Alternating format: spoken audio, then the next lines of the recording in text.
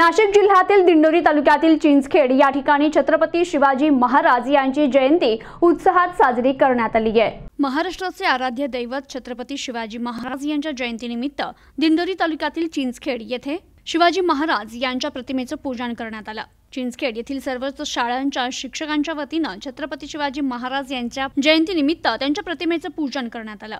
यावेळी बाल शिवाजी महाराज यांच्या वेशभूषेतील बालकांनी शिवाजी महाराजांच्या शौर्यगाथा उपस्थितांसमोर भाषणातून सांगितल्या.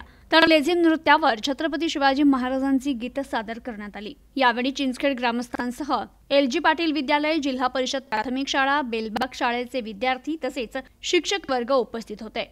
या कार्यक्रमासाठी शिवजन्म उत्सव समितीतील आदेश मातेरे निखिल संधान निलेश वडजे दीपक धुमने कपिल पाटील पप्पू मातेरे माजी उपसरपंच सदाशिव पाटील योगेश पाटील विक्रम पवार यांनी नियोजन केलं होतं. प्रतिनिधी Tushar Zendphale news today twenty four Dindori Nashik.